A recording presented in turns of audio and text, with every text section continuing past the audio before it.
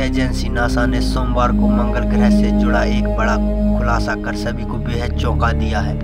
NASA के मुताबिक मंगल ग्रह पर बहते पानी का स्पष्ट संकेत मिल गया है, जो कि अब के मंगल मिशन के मद्देनजर बड़ी कामयाबी है। इससे पहले वैज्ञानिकों ने मंगल ग्रह पर बहता हुआ पानी होने का आदेश ही जताया था। और पानी के ठोस रूप, यानी बर्फ़ के तौर पर होने के प्रमाण की कई खबरें आ चुकी हैं। ज़ाहिर है कि लाल ग्रह के नाम से जाने जाने वाला मंगल ग्रह पर नई खोज को लेकर पूरी दुनिया में 40 से ज़्यादा मिशन जारी हैं, जिसमें भारतीय अंतरिक्ष एजेंसी इसरो का भी प्रोजेक्ट शामिल है। तो वीडियो शुरू करने से पहले मैं आपको बता दूँ, मैं आप दीपक और आप देख रहे हैं हिंदी स्टोरीज।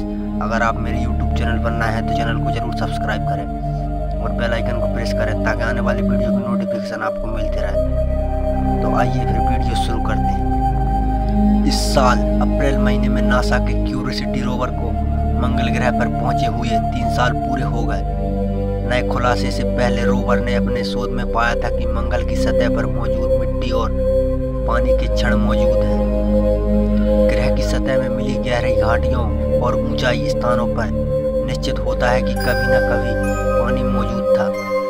क्योंकि इस तरह की संरचना निर्माण बिना पानी के संभव नहीं। अब स्पष्ट तौर पर माना जा रहा है कि मंगल पर इतना पानी मौजूद है कि काफ़ी जनसंख्या में झील और नदी से भर सकते हैं, जबकि शुरुआती खोज के दौरान वैज्ञानिक मंगल की सतह को चाँद की तरह बंजर मानते थे।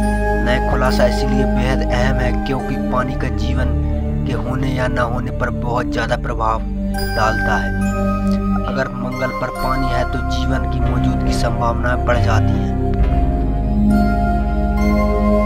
नासा के वैज्ञानिकों के मुताबिक नई जानकारियाँ इस बात का पूरी तरह समर्थन करती हैं कि मंगल ग्रह के कुछ खास जगहों पर गर्मी के मौसम के दौरान नमकीन पानी की धाराएँ बहती हैं। गर्मी के बढ़ने के साथ साथ धाराएँ और ज़्यादा बड़ी हो जाती हैं और बाकी साल गायब रहती हैं। आपकी जानकारी के लिए बता दें मंगल ग्रह हमारे सौरमंडल का चौथा ग्रह है, यानी कि सूर्य की परिक्रमा चौथे नंबर पर करता है।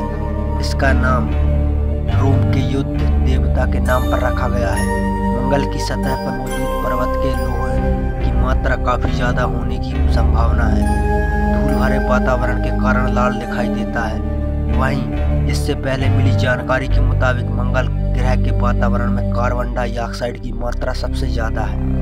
और यही धरती के मुकाबले एक तिहाई गुरुत्व बल है। तो दोस्तों, वीडियो कैसी लगी? एक लाइक कर दें, क्योंकि मुझे बहुत मेहनत लगती है वीडियो बनाने में, और आपको लाइक करने में सिर्फ़ एक सेकंड लगेगा तो लाइक ज़रूर कर दें मिलते हैं अगली वीडियो में।